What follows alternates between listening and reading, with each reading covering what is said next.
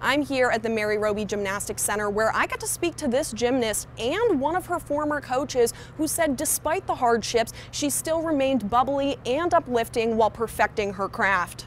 Honestly, I would just say it is my life. I've been doing it since I was two years old. Courney began her career following in her late mother's footsteps. My mom actually was a college athlete. She did gymnastics at Eastern Tennessee University. She trained at Arizona Dynamics starting in a mom and tots class, working her way up to a level 10 gymnast by the seventh grade.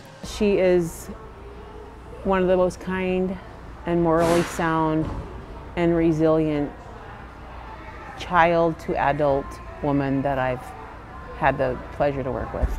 In eighth grade, Courney was recruited by Arizona, but not everything was as great as it seemed. I feel like a lot of people think that like college athletes have like a really excellent club career, but for me, I feel like my story's different. In high school, Courney underwent two major ankle surgeries and a full elbow reconstruction in college.